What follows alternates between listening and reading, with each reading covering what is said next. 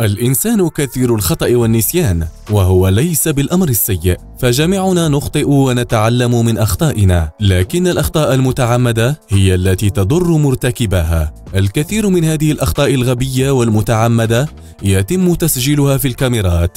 في هذه الحلقة جمعنا لكم عددا منها لذلك تابعونا إلى النهاية. سلام من الله عليكم متابعي قناة هل تعلم؟ في الخامس عشر من مايو عام 2021 قام شخص هندي بتصوير شرطي على الطريق السريع وهو يقوم بإيقاف سائق الشاحنات ويأخذ الرشوة منهم. وعندما أوقفه لأخذ المال قام السائق بتصويره خلسة فانتبه لذلك. لكنه انصرف من ذلك المكان ويبدو أنه أحس بالخطر. فقام بإيقافه مرة أخرى وحاول أخذ هاتفه منه. قام السائق بتصوير كل شيء فاجتمع باقي أفراد الشرطة وبدأوا يركضون نحوه لانتزاع الهاتف منه لحذف هذه المقاطع. فهرب نحو الأدغال لكنهم لحقوه وقبضوا عليه في النهاية ثم حذفوا جميع هذه المقاطع. وعندما عاد إلى المدينة استعان بخبير في الهواتف واستطاع استعادة جميع المقاطع ثم نشرها عبر الإنترنت وادعى أنهم اعتدوا عليه بالضرب عندما قبضوا عليه. ولم يستطع تصوير ذلك. وقبل أن ينتشر المقطع اتصل عليه الشرطي وطلب منه عدم نشر المقطع فقام بتسجيل المكالمة ونشرها أيضا. في شهر إبريل من عام 2021 قام شخص بنشر مقطع على منصة ريدت وحصل على أربعين ألف إعجاب. سبب انتشار هذا المقطع بهذا الشكل هو أن السحر انقلب على الساحر. المقطع هو لشخص كان يزود سيارته بالوقود ليلا في إحدى المحطات في دولة تشيلي. فاتجهت نحوه سيارة أخرى ونزل منها أربعة أشخاص وأرادوا السرقة منه والاعتداء عليه. ظنوا أنه صيد سهل لكونه وحيدا. عندما ركضوا نحوه لاختفائه بدأ يرش عليهم الوقود بكميات كبيرة فهربوا من هناك بسرعة وسخر المشاهدون منهم كثيرا. نستفيد من هذا المقطع أنه لا ينبغي السطو على نوادي فنون الدفاع عن النفس. هذا الشخص ارتكب هذا الخطأ واتجه نحو موظف الاستقبال وهدده وأمر بأن ينزل إلى الطابق السفلي ليساعده في سرقة المكان. ولسوء حظه كان اللاعبون يتدربون في ذلك الوقت. وعندما رأوه ركضوا نحوه إلى الأعلى مرة أخرى وهناك نفذوا تدريباتهم على أرض الواقع. هذان الاثنان خرجا في جولة على دراجة نارية وقرر تصوير ذلك بواسطة الهاتف وقام بتثبيته على عصا السيلفي. في البداية استمتعا كثيرا كما يبدو لكن بعد لحظات ارتطم الهاتف بالشجرة وعلق هناك.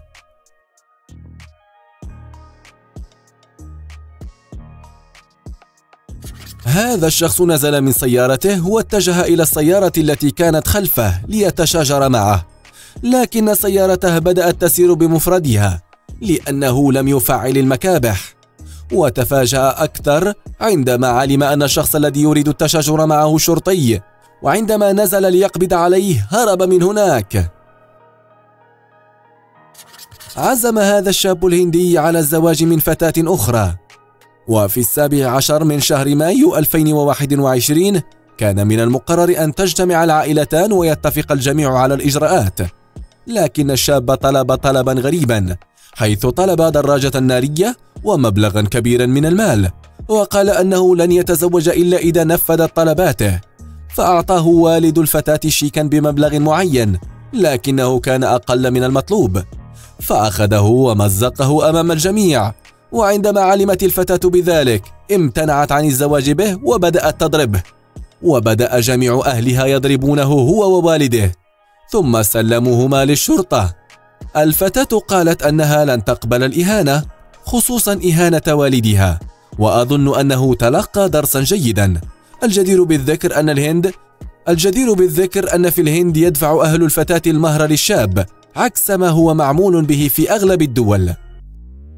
هذا الشخص أراد تنفيذ بعض الحركات البهلوانية لكنه سقط في مجرى الصرف الصحي بشكل مروع. وعندما سخر الناس منه حاول إقناعهم بأنه أخطأ. لكن الأوان كان قد فات فقد انتشر المقطع عبر الإنترنت. وها أنتم تشاهدونه الآن.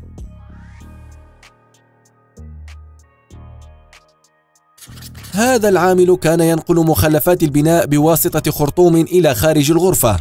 آلية عمل هذا الخرطوم تشبه آلية المكانس الكهربائية حيث تسحب المخلفات إلى المكان المطلوب. وأثناء ذلك علقت صخرة داخلة. أراد دفعها بقدمه فتم سحب حذائه أيضا وكانت ردة فعله مضحكة. استطاعت الكاميرا المثبتة في سيارة هذا الشخص بتصوير المشهد المضحك. حيث ظهرت أمامه سيارة والتفت بطريقة مزعجة. فغضب الشخص الذي بالخلف وضغط على بوق السيارة بقوة. فتوقف الشخص الذي أمامه ونزل من السيارة وأخرج قضيبا حديديا وكان قادما إليه ليتشاجر معه. وأثناء ذلك مرت سيارة مسرعة بجانبه ولطخته بمياه الأمطار. فضحك الشخص الموجود داخل السيارة ولم يتشاجر معه وانصرف من هناك. هذه الفتاة كانت تنصح الفتيات باستخدام رذاذ الفلفل وأرادت تعليمهن كيفية استخدامه لكنها رشته على عينيها بالخطأ.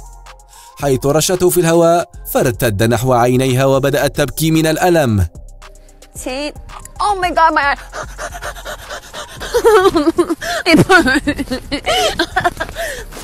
في الفترة الأخيرة أصبح الناس مشغولون بالهواتف في كل مكان وفي كل وقت. سواء في المنزل أو مقر العمل أو حتى في الشارع. وهذا يسبب الحرج للكثيرين في بعض الأحيان كأن يسقطوا من السلالم أو يرتطموا باللوحات المرورية. وهذا ما حدث لهذا الشخص الذي كان يمشي على طريق مغمور بمياه الأمطار وكان يستخدم الهاتف غير منتبه لما يحدث. فسقط في الحفرة فجأة وأثار المقطع سخرية واسعة عندما انتشر عبر مواقع التواصل الاجتماعي. تم نشر هذا المقطع وظهرت فيه موظفة متذاكية. حيث كانت جالسة في مكتبها ثم سقط من السقف شيء ما فقررت الاستفادة منه في ذلك. وقررت الاستفادة من ذلك وضربت رأسها بذلك الشيء لكي تطالب بالتعويض. ولم تكن تعلم أنها كانت مراقبة بالكاميرا. فيما بعد تم القبض عليها بتهمة الاحتيال. الأطفال أيضا يعلمون أنه يمنع تدخين السجائر في محطات الوقود لأن ذلك قد يشكل خطرا. لكن يبدو أن هذا الشخص لم يكن يعرف ذلك ولم يرد أن يعرف من الأساس. فقام بركن السيارة بجانب مضخة الوقود وبدأ يدخن السيجارة. فحاول الموظف تحذيره ومنعه لكنه لم يمتنع وأصر على ذلك. فاقترب منه وحمل مطفأة الحريق ثم رشها عليه. وكان محقا في ذلك لأن ذلك يعتبر تهديدا ويتم التعامل مع التهديدات بهذه الطريقة تماما. في السادس عشر من شهر فبراير صور شخص في إحدى شوارع العاصمة البريطانية لندن حادثة غريبة حيث ظهر شخص يضايق فتاة وهي على دراجتها الهوائية. فلحقته وكسرت المرآة الجانبية لسيارته ثم أكملت الطريق.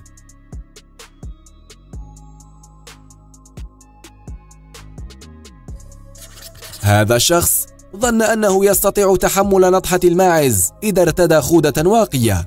لكن عندما ارتطمت القرون برأسه تألم بشدة فهرب بعدها وظل الماعز يلاحقه. هذا كل شيء يا أصدقائي. نراكم في حلقة قادمة.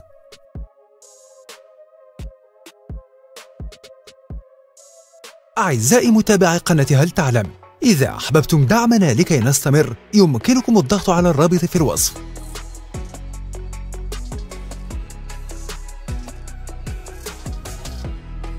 أو على يوتيوب. ثانكس إن أعجبكم موضوع اليوم من قناة هل تعلم فلا تبخلوا بالإعجاب والاشتراك. يمكنكم أيضا متابعة فيديوهاتنا السابقة. جميع الحقوق محفوظة لدى قناة هل تعلم.